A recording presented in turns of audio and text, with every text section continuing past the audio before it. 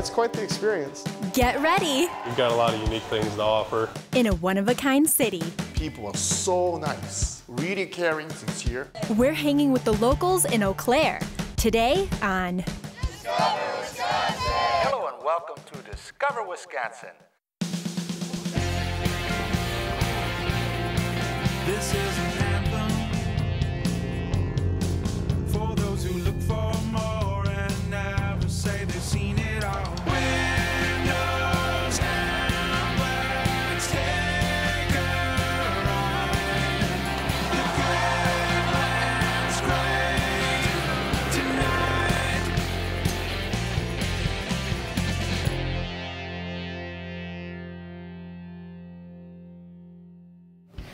Mariah Haberman. Eau Claire is home to some pretty unique draws. They have a diverse music scene, they're the horseradish capital of the world, and people play Kubb here. We'll get to all that in just a minute. Here in this city, you have to start with the rivers. Really, The confluence of the two rivers are really what the city's been built on. We've got beautiful parks. The Eau Claire and the Chippewa rivers make for a scenic trip on their own. Many picturesque views are seen from the bridges along the Eau Claire River, flowing in from the east. That kind of is the embodiment of uh, Eau Claire. It's, it's kind of a beautiful river city. The Chippewa River flows in from the north and continues all the way to the Mississippi River. The way that it meanders through Eau Claire isn't straight, making it a hotbed for tubing. Tubing here has become a huge part of, of the summer culture in this community. Just in the last five, seven years, it's exploded. This sounds like an activity for me, Mariah. So I haven't been tubing on a regular river before. What are the what are the things I need to know? Probably be tied together and don't get stuck on the bridges. Well, how hard can this be? The tubing experience is really up to you. There are many places along the two rivers where you can pick up the flow. One of the popular launch points is where the two rivers come together at Phoenix Park. Phoenix Park is a gem. It's been around for several years now. It houses our farmers market. The downtown farmers market is open Saturdays in May and then expands to Wednesday and Thursdays from June to October. The rainbow of offerings from local providers is vibrant and tantalizing, especially when you find items that just came out of the garden. Just down the hill, some area grown talent performs in the warmer months. We have a very big concert series that happens every Thursday in the summers. There's about 1,500 people that come every week to that. The city had a great vision on putting a beautiful park down here, and one of the nice things about the park is the pavilion we're standing under right now. This gives us a lot of options, and uh, right now it's currently being used for Taste of the Valley. Taste of the Valley brings local restaurants and food vendors together under one pavilion, making it pretty handy for visitors to try dozens of treats in a small traveling area. Well, the hard part is, I think, is deciding what you're going to have, because if you come with a few people, everyone wants to have a nice sampling of the different foods that are available. Eric, the Eau Claire landscape is dotted with more than a dozen parks that all have their special charm and activities. That's really what uh, parks are all for, is to, for people to come down and enjoy them. Hey guys, I'd like to show you one park that stands out as a sports complex that's steeped in history and activity. The first baseball game played in Carson Park was back in 1937. The baseball stadium dates all the way back to the days of Henry Aaron playing his first year of professional baseball here, and that's just been added to and enhanced. A statue honoring Hammerin' Hank's time with the Eau Claire Bears stands in the plaza outside the ball field. The stadium was placed on the National Register of Historic Places in 2003. But don't think of it as a museum, it's still in full use today. Catch a game with the Northwoods League, Eau Claire Express, or a handful of other hometown teams. Speaking of museums, though, you'll find parks for that too. They are continually updating their exhibits to celebrate and uh, tell the story of the history of our city. One doing just that is Chippewa Valley Museum. It combines state-of-the-art interactive exhibits with historical items that bring the past to life. Bonjour, Nimawendem, Wabaminyan Mianwa.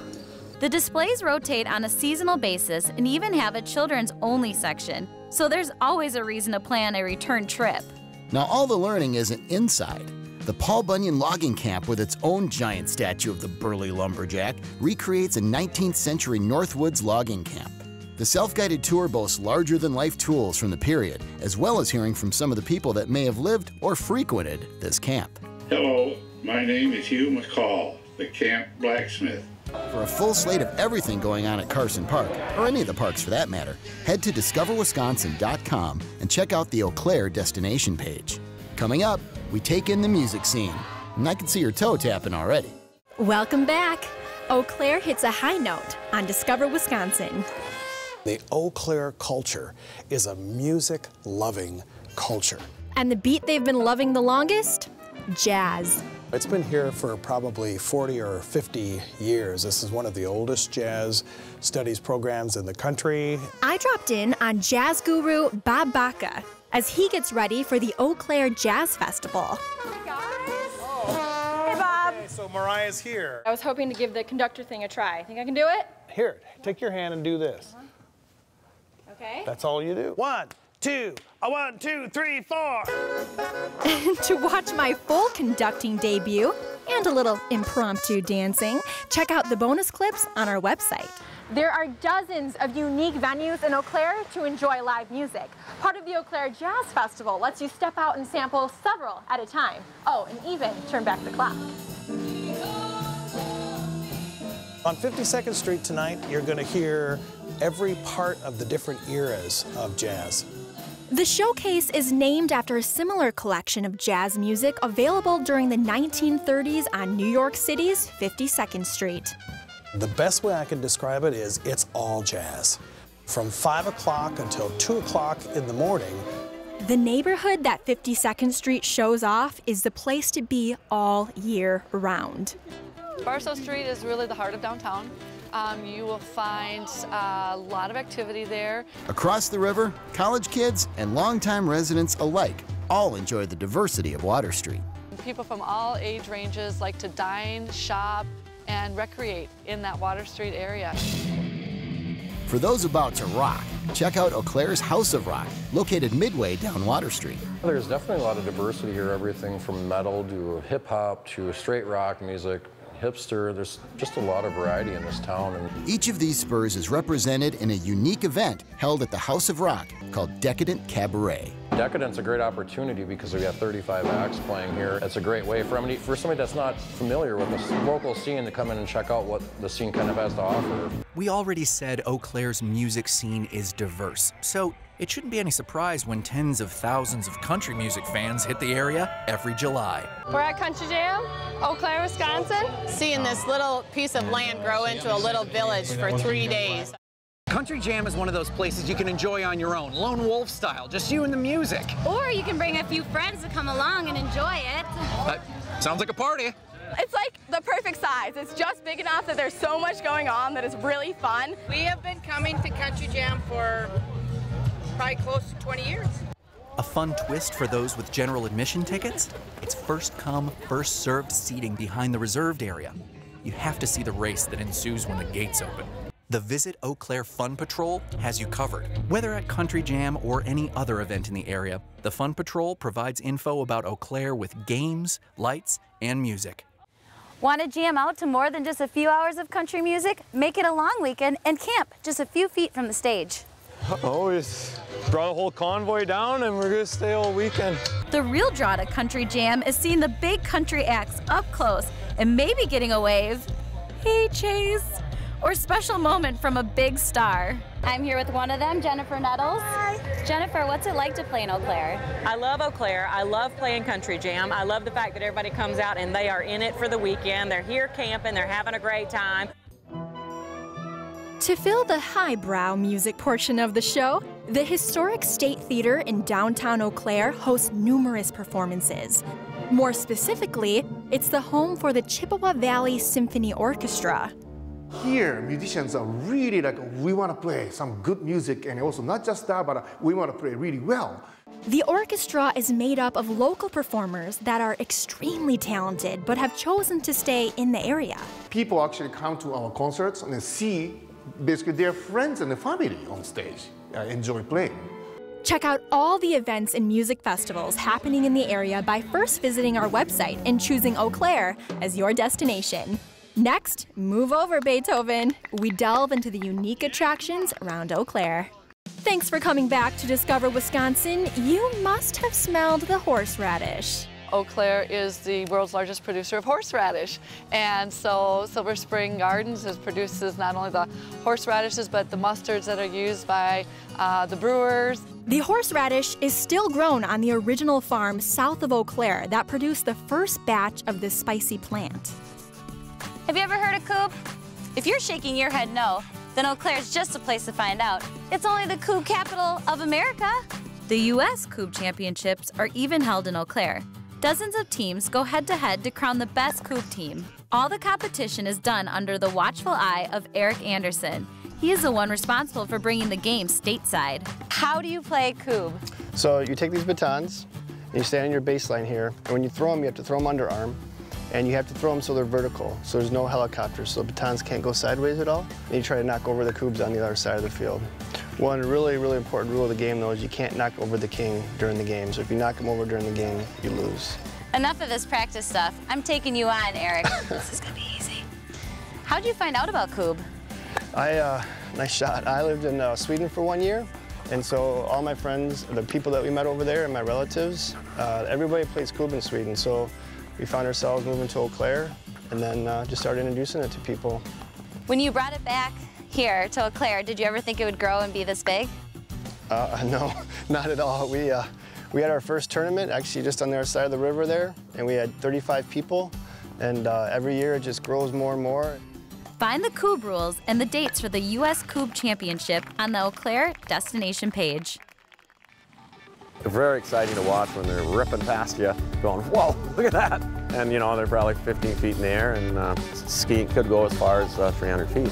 Another international sport has a competition and training complex here that's matched by only a handful of others around the country. Silvermine Hill is one of only six of its size in the whole United States. Um, it's right here in our backyard here in the Chippewa Valley in Eau Claire. The Silver Mine Invitational is a prestigious ski jumping competition that brings worldwide talent and experiences. Until you're here actually seeing it and hearing it and, and the sounds, you just really don't understand the sport. You can see it on TV and you go, hmm, yeah, that's, uh, yeah, there they go. But unless you're here and you're seeing it, it, you just don't get that feel. Now, here's an event I've only ever witnessed in the summer when the water may feel a little more refreshing. We never heard of it. I didn't think any rollers would want to do it, but a bunch of them thought it sounded like a great idea. The Winter U.S. Log Rolling Championships are an Eau Claire original. Hey, we're in the north. This is this is what we do. This is our heritage. So why not why not include this in such a fun, great event? The first competition was held in 2014 as a companion to the Eau Claire Polar Plunge. It's a great time for us to get together in our off season, and it puts on a really fun show. We're from Wisconsin, we're crazy. Oh, let's think warmer thoughts. And when I do that, I think about summer evenings and the nostalgic glow of a drive in theater. The Gemini Drive In on Eau Claire's north side is one of just 10 outdoor movie theaters in the state. This throwback to a bygone time has all the bells and whistles with crystal clear sound and a digital projector to recreate a picture perfect experience from your childhood. Start your next day energized with another venue unique to Eau Claire. Introducing Metropolis Resorts award winning comic book themed Chaos Water Park. We're about the, the biggest and best you're going to find in the local area. You can come swim on our, on our water slides in the lazy river and, and have a good time and at a good price. But there's nothing like that around here. Next to the water park, your kids can stay dry while still having a blast at Action City Family Fun Center. It's surrounded by just all kinds of fun. We've got um, one of the larger indoor go-kart tracks that you can find on a little bit higher speed. Want to plan your wet or dry getaway? Or want to see more winter log rolling? Or even learn more about Kubb? Just visit our website and find the Eau Claire destination page. After this short break, we'll show you where to go to hang with the locals. We are hanging with the locals in Eau Claire on Discover Wisconsin. Find some of the really good spots and the good times to go there. You got to talk to the locals. One of those spots is actually several spots. It's the Eau Claire Sculpture Tour. John, hey! Oh, hi, Abbey. How's it going? Real good, real good. Well, you're from Eagle River, so I thought this was a natural place to start. Absolutely. How many sculptures are there on this tour? We have 32 stops. Awesome. I can't wait to see them. Let's go. Let's get going, yes. There are three main groups of sculptures. Just grab a map along the route to find your way. Catch all the beautiful views we took in by watching the bonus clips on our website. I believe we're the only state in Wisconsin that has anything like this, where we get all these sculptures in. They're here for a year, they go away, we get new sculptures in the next year. It's an ongoing thing. You can come back every year and see different sculptures. Abbey, visiting all the areas of Eau Claire may get you a little thirsty. What better solution than a place that has both libations and locals? Lazy Monk Brewing. Usually people come here in groups. We do have regulars and they come here and uh, they didn't know themselves uh, before, but right now they are friends just because of this place. Lazy Monk brews their own beer on site in the style of traditional German and Bohemian beers. But there is a different feeling when you come to enjoy your favorite here. We are not the bar, we are, we are the tap room and people can come here and enjoy themselves. Uh, it is uh, family friendly, so uh, if the people have a kids, they can come here. Uh, kids can have root beer or soda. As Eric finishes his sampling in the tap room, I'll take you to one of Eau Claire's historic industrial venues. Banbury Place, which was the big tire factory and went out in the early 90s, is now this wonderful asset. More specifically, Infinity Beverages Winery and Distillery. You have heard of farm to table. Well, here, it's more like from still to glass. Well, you're going to get to try a lot of one-of-a-kind wines and spirits you can't get anywhere else. Uh, like we've got a watermelon brandy, a very small batch product, but uh, pretty much one-of-a-kind in the world. Nobody else makes that. The quaint bar and tasting lounge is a welcoming area. And some nights, they've even got entertainment. Uh, we get a lot of fun people coming through here. We get a lot of people that uh, they meet each other in here for the first time, and then they end up making plans to meet back here in the future. Find your favorite beer or spirit by checking out the extensive lists for each location on the Eau Claire destination page. Find the essence of Eau Claire all under one roof. The Place, Volume 1. I should get this apron. Hey, Mariah. Hey. We'll look at all that stuff soon. I know you're excited. But let's go upstairs. It all starts with the magazine first, so let's take a look. All right, let's go. So this is all Eau Claire in here. Everything is Eau Claire, yeah. 99.9% of the content in here is stuff about this community, written by people of this community, photographed by people of this community. Coming out every two weeks, Volume 1 is the Eau Claire What to Do and What's Hot Bible. Everything started with the magazine. You know, that's where everything began. And we cover the arts and music and the happenings, downtown development, all those sorts of things, recreation. And then we have our online component with volume1.org, which has all the content that, that would be in the magazine plus more.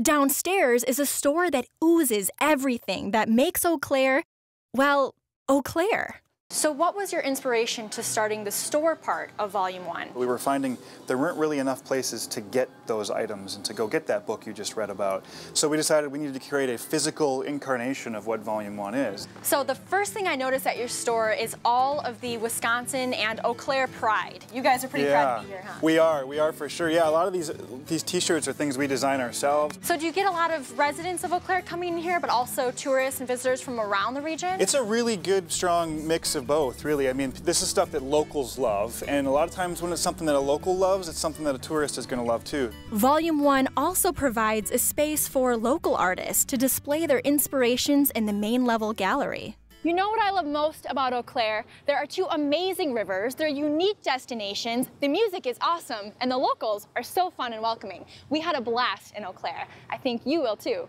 We'll see you next week on Discover Wisconsin.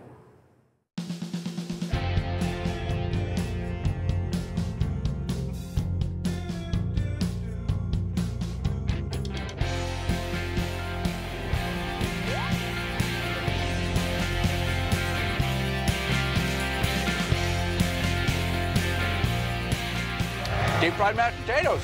Does what it says in the box.